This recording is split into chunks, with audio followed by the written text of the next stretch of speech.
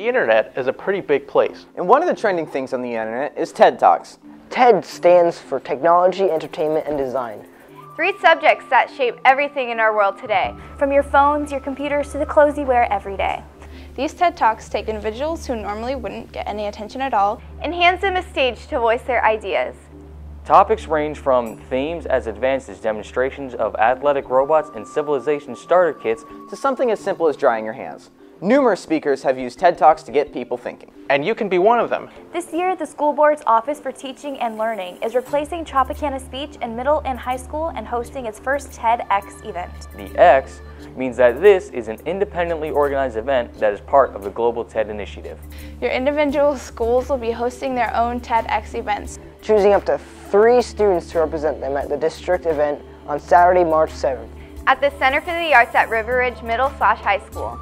Ask your teachers for more information. There are two main types of speeches to choose from, informative and argumentative.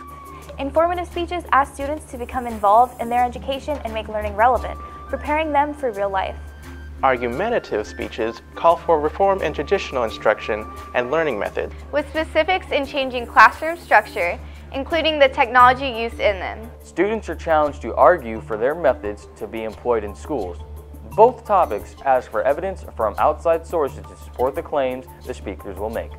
This is your opportunity to make a change in your world. The Office for Teaching and Learning has given you a platform to voice your solutions for problems with both our student body and the classroom system itself. This is your chance to change the future for both you and the generations to come. This is your stage. And the performance begins now.